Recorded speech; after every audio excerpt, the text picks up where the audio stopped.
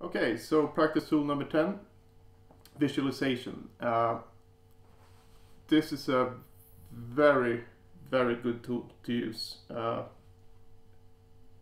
on any level of playing actually.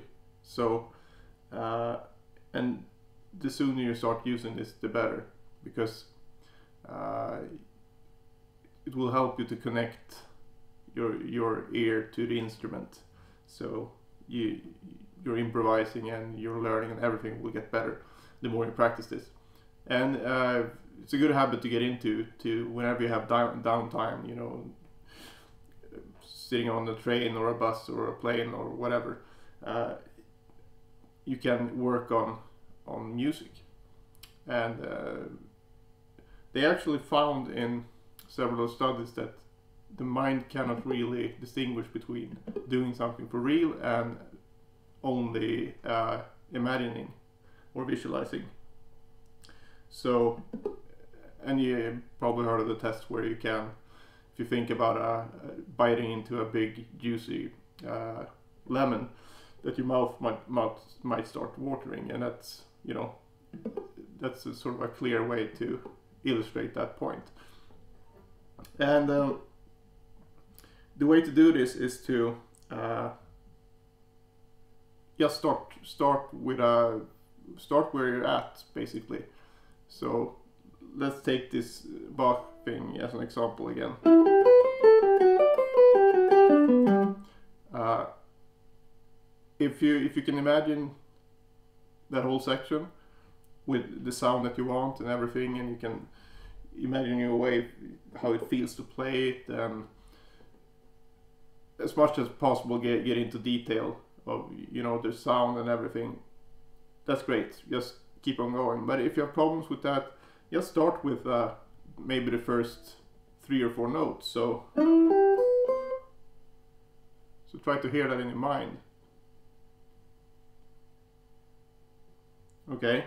And it doesn't matter when, when you're away from the instrument it doesn't matter if you imagine something in the right key. Uh, what matters is that you have the right intervals. So you can just as well imagine this in.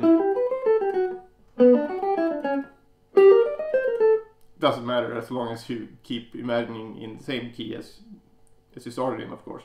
But uh, so you don't have the perfect pitch or anything like that. Uh, and you can even try out the different practice tools just in your mind. Just think about if you get to the point where you can hear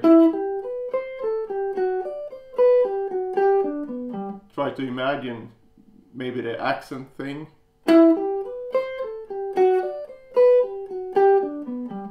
Uh, and just different mental challenges like that.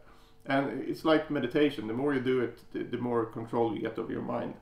And it's uh, super important because it, it, will lead you to being able to uh, improvise in your mind and see what you're playing and and you can of course apply that when you get to get to the guitar. So it's it's a really cool thing.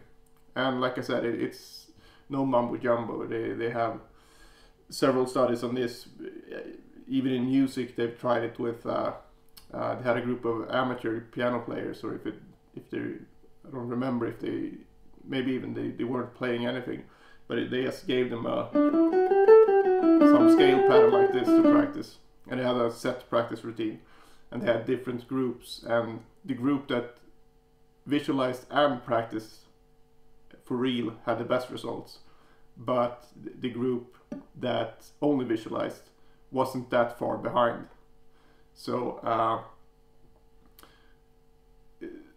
they, they actually measured the amount of activity in in the brain as well in that section where motor skills are stored. So um, it's a uh, it's a really cool thing, and and like I said, uh, ideally you'll be able to imagine the music as you want to hear it because then you have a model when you go to sit down and, and actually practice the piece for for real and that really helps because if you don't have that model in your mind it's sort of like um, uh, you know it when you hear it, kind of practicing, which is fine. Uh, you have to start somewhere, but it the stronger uh, the stronger uh, mental view you have of what you want to achieve, the easier it will be to to do it. So, uh, sort of like a like a painter or sculptor, if they they can see what they want to do, it's much easier to to get that result. So. Uh, another example is uh, Glenn Gould, uh, super genius piano player.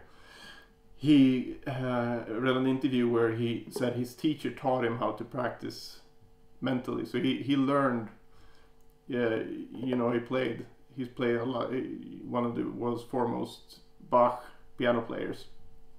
And he used to practice uh, the well-tempered clavier pieces and uh, the Goldberg vari variations, you know, and really intricate uh, stuff with fugues and several voices moving in uh, in counterpoint. So if he could imagine that in his head uh, and play as well as he did, uh, we sure can work on single note lines at, at least. So the more you do it, the better you will get at it, and I can't recommend it enough. So try it out and good luck.